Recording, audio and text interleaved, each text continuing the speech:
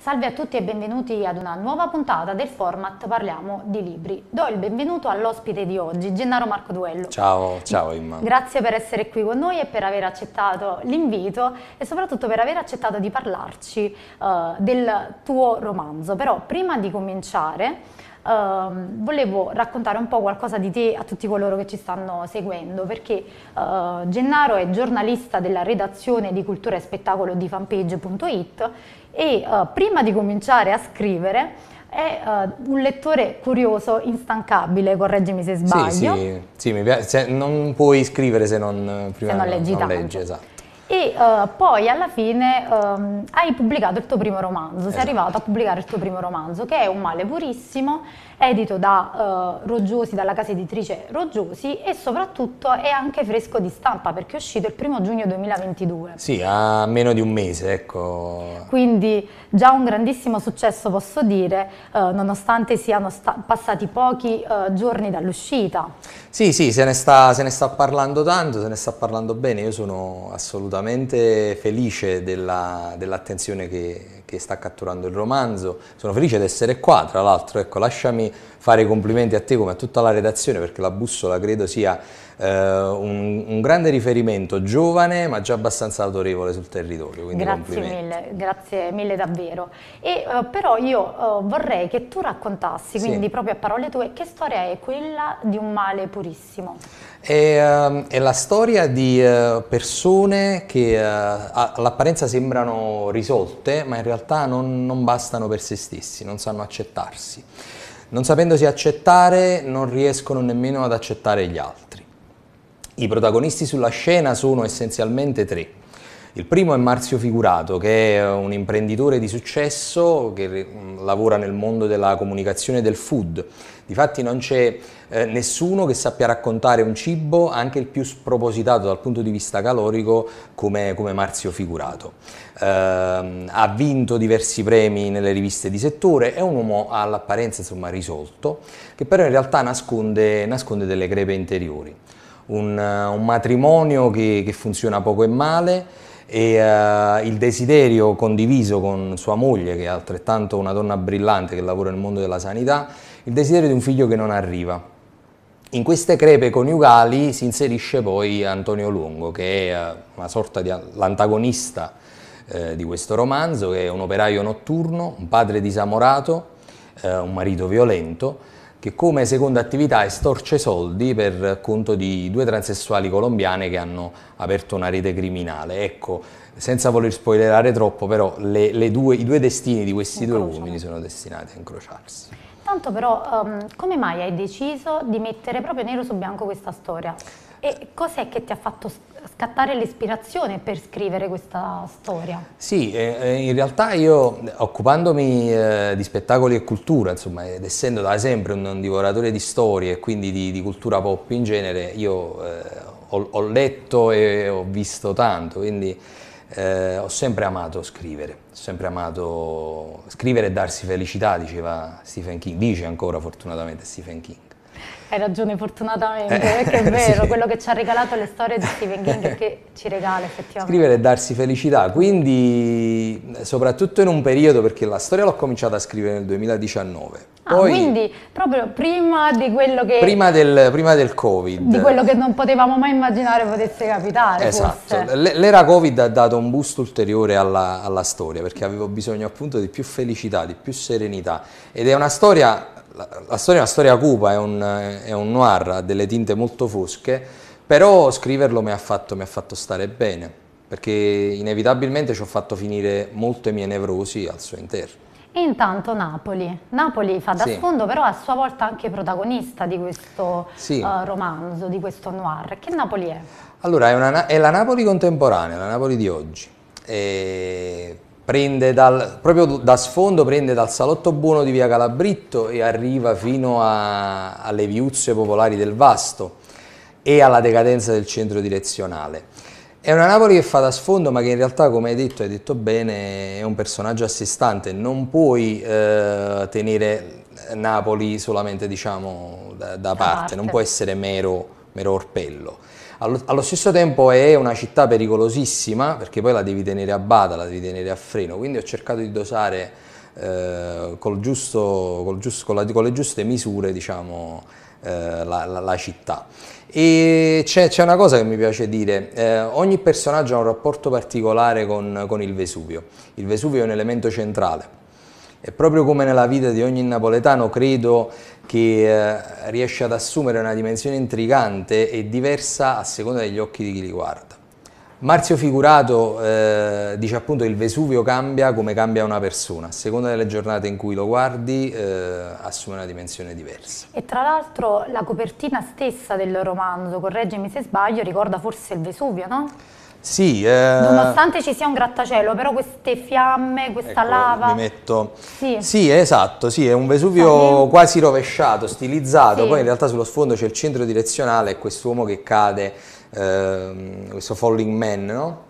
Il lavoro che ha fatto la Roggiosi con questa copertina è stato fantastico, sono molto contento. E poi anche quello che dicevi di Napoli, credo che sia ciò che accade nella realtà a tutti noi, no? uh, Napoli sì. in qualche modo, ognuno di noi ha un rapporto particolare con la città, certo. quindi poi anche con i simboli della città stessa. Però forse Napoli è presenza troppo ingombrante, sia in positivo che in negativo nella vita di tutti i giorni e nella vita di tutti noi. Cioè credo che non hai, uh, hai messo, non hai inventato in questo, nonostante sia un romanzo, perché hai messo la realtà delle cose in questo sì, romanzo da, da, da, napoletano che è nato a Napoli e resta a Napoli, vuole restare a Napoli, la città in tutti i suoi problemi e in tutte le sue eh, contraddizioni è una città che va, va, accolta. Cioè Napoli noi non la possiamo cambiare, possiamo certo eh, approcciarci alla città in maniera positiva, proattiva, cos sì. facendo coscienza civile, essendo un collettivo. Però Napoli è una città che eh, ti deforma, non sei tu in grado di deformare la città. E tra l'altro il modo in cui tu credo abbia usato appunto Napoli, no? Sì. È anche un modo per utilizzare questa, uh, sua, il suo essere ingombrante e utilizzarlo sì. appunto nel, nel, romanzo, quindi fare in modo che per una volta, uh, non solo per questa volta, ti puoi servire di Napoli proprio a modo tuo sì, sì, e la fai diventare uno sfondo stata... e protagonista di questo noir. Sì, è stato, è, sta, è stato assolutamente bello scrivere soprattutto determinate scene eh, c'è per esempio c'è una scena molto carina a Piazza Nicola Amore, mm. eh, nella zona di, di, di Piazza Vittoria, eh, no a Piazza Vittoria sotto la statua di Nicola Amore, perché Piazza Nicola Amore eh, in realtà è senza la statua di Nicola Amore, Nicola Amore era il sindaco del risanamento napoletano e io ho giocato anche a fare una sorta di mappatura perché il protagonista abita a Piazza Nicola Amore mm. e eh, un fatto di cronaca all'interno del libro invece avviene sotto la statua di Nicola Amore a, Piazza Vittoria. A proposito di sotto, questa, sì. uh, colgo appunto questa parola che hai utilizzato e soprattutto il riferimento al grattacielo, al centro direzionale, perché i sotterranei, cosa fanno i sotterranei? Nel... Eh, nel sotterra nei sotterra ecco perché il, il romanzo per un certo punto diventa, si fa racconto di formazione e va a indagare il passato dei protagonisti. E nel passato di questi protagonisti c'è un trauma che si consuma nei sotterranei del centro direzionale. Il centro direzionale Nell'idea di Kenzo Tange, che è stato l'architetto giapponese insomma, che ha rilevato il progetto e poi ha inaugurato il, il centro direzionale, doveva essere, eh, la, superficie, la, superficie doveva servire appunto a, alle persone e alla condivisione, quindi era pedonale, e tutto insomma diciamo a uso, e, a uso e consumo una città, città. una città, nella città sulle superfici doveva invece esserci appunto come di fatto è le strade e eh, la, la percorrenza insomma del, delle automobili. In realtà, eh, come da, di fatto è anche nella cronaca reale, la, la, il sotterraneo del centro direzionale ha nascosto per anni eh, prostituzione minorile, eh, drammi e fatti di cronaca di ogni genere. Nel sotterraneo del, di un male purissimo, nel sotterraneo del centro direzionale si consuma quella che forse è una tragedia ed è un motore scatenante che non posso proprio... Ovviamente non eh, lo vuoi dire. sì, puoi... capito, sto cercando, mi sto arrampicando sugli specchi, vorrei dirlo ma non posso dirlo no, perché poi rovino, rovino, rovino sì. i colpi di scena che ci sono all'interno Te lo impedisco anche io da lettrice, giustamente. E... Però sì, cioè, eh, ritornando a noi, eh, il centro direzionale dal mio punto di vista è un grandissimo cazzotto negli occhi di Napoli eh, per quanto sia un indotto importante, per, si, per quanto sia fondamentale, c'è il tribunale, c'è palazzo, Beh, insomma, sì. della- dal mio punto di vista, da un punto di vista semplicemente architettonico, è stato un fallimento e continua ad essere un fallimento. Intanto ehm, torno su di te, mi sposto un attimo, dalla, sposto l'attenzione dal libro a- ai tuoi riferimenti letterari. Sì. Quali sono? Perché credo che se tu sei un lettore instancabile, ovviamente eh, questa, questa cosa che ti sto per dire te la chiedo dopo, ok? Voglio sapere i tuoi riferimenti letterari, perché è importante anche ispirarsi ai grandi, prima parlavamo di King, Sì, sì, vabbè, sicuramente King uno- Stephen King è uno dei, dei- dei primi riferimenti, ma soprattutto per il fatto che, eh, che King, nonostante tutto, eh, è sempre stato considerato da una certa critica uno scrittore, diciamo, minore. Eh, invece io credo che abbia, abbia scritto le, le vere pagine del grande romanzo americano, siamo tutti a cercare sempre il grande romanzo americano, il grande romanzo americano è fatto da tantissimi scrittori e King c'è, dentro con tutte le scarpe e con tutte le mani, quindi sicuramente lui. Simenon, Simenon, non il Simenon di Maigret, ma quello dei romanzi, dei romanzi conclusivi, La Camera Azzurra per dire La Mano. Simenon è stato in grado di, eh, di mettere su carta la crisi coniugale, la crisi coniugale e la convenzione sociale del matrimonio come nessun altro. E sono dei romanzi davvero brutali, per- brutali perché sinceri nel rapporto tra, tra uomini e donne, nel rapporto tra, tra individui eh, e eh, quindi consiglio a tutti la lettura del Simenon, non di, non di Maigret, sono fantastici eh, i romanzi di Maigret, ma consiglio quelli, quelli diciamo eh, sì, singoli, insomma. Intanto, quindi ti faccio la domanda Sono che ti stavo, ti stavo per porre. Quanto eh, il tuo essere giornalista, che ovviamente anche Mm. se ti occupi di cultura e spettacolo, comunque proprio, eh, cioè tutti i giorni ti scontri con una realtà, Certo.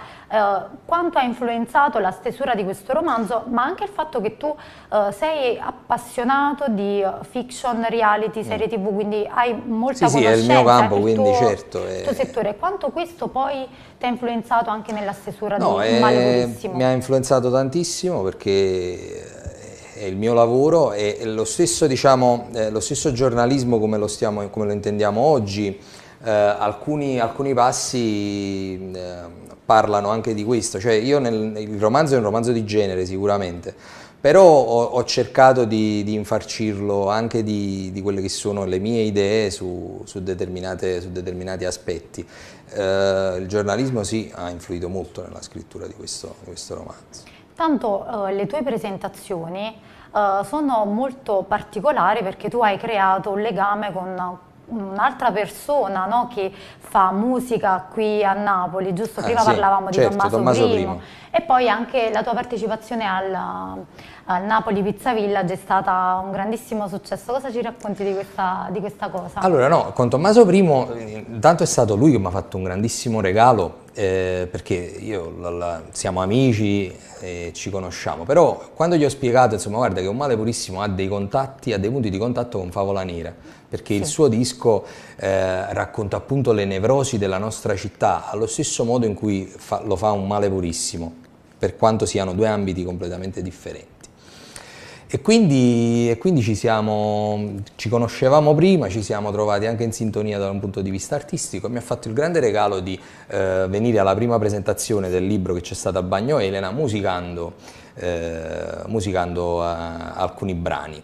E eh, in particolare c'è un brano in Favola Nera che è Onorato Delitto e Passione, che invito tutti ad ascoltare, che eh, è, è perfettamente aderente a quello che è il, il concept del, del romanzo, il sopra e il sotto, il lato A e il lato B di una persona, il lato oscuro e il lato buono. Intanto le presentazioni comunque, eh, io devo dire che ti seguono, lo sai, Sì. e vedo che sono molto partecipate, quindi ritorniamo un po' a quello che dicevamo prima, un grande successo per un male purissimo anche se è uscito da pochissimo Meno di un tempo. mese, certo, sì, se no, sono, sono molto felice, sono molto felice. Eh, ho, ho- letto una recensione, perché poi insomma io adesso sono curiosissimo, vado a leggere le recensioni su Amazon, sui vari, sui vari blog, eccetera, e c'è un lettore che non, eh, non conosco, lo vorrei, vorrei, lo vorrei abbracciare, che ha scritto questo non è un libro, è un rasoio.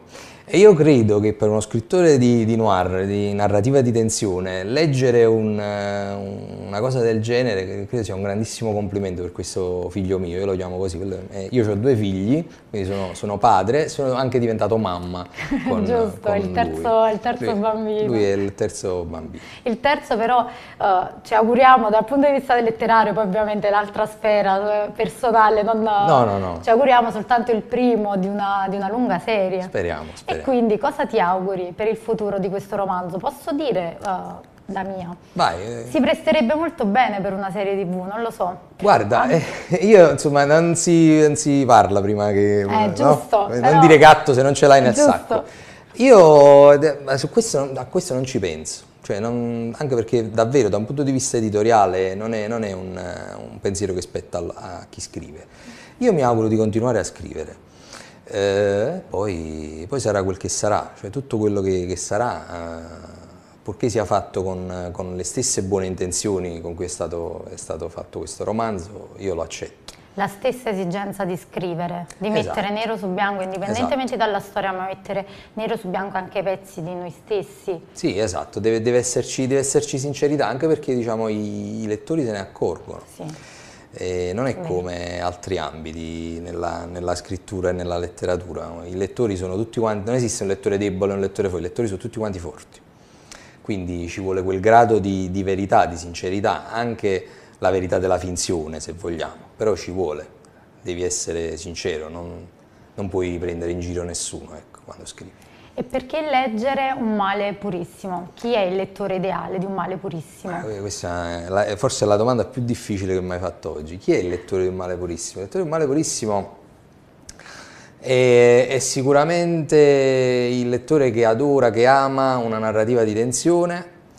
Eh, questo in particolare io lo definisco un post-noir, ovvero tutti gli elementi classici del noir, meno il cliché fondamentale del noir, cioè l'assassino e l'investigatore. Okay? Il caso da indagare, semmai, è le esistenze dei personaggi che abitano le pagine del romanzo. Quindi il lettore è questo qua, quello che ama una narrativa di tensione senza i cliché del genere. Gennaro, io ti ringrazio tantissimo per aver uh, parlato di un male purissimo, per averci raccontato qualcosa di più di questa storia, però senza spoiler ovviamente io vi invito a leggere uh, questo romanzo che davvero vi lascia uh, senza fiato, ma secondo me la definizione più corretta è quella che ha fatto appunto il lettore che ti ha lasciato la recensione, um, è come appunto un rasoio cioè senti questa tensione continua e poi ci auguriamo il meglio sia per, per te, uh, per il tuo futuro anche letterario e poi anche, devo dire, io mi auguro mh, una evoluzione oltre che appunto letteraria di un male purissimo. Speriamo, speriamo Imma, magari la bussola mi porta fortuna. Dai, speriamo Dai. bene e uh, grazie mille per essere grazie stato Grazie a voi e complimenti ancora per tutto e a tutta la redazione. Grazie. Io ringrazio Davide Porzio e regia, regia scusate, ma soprattutto tutti voi per averci seguito.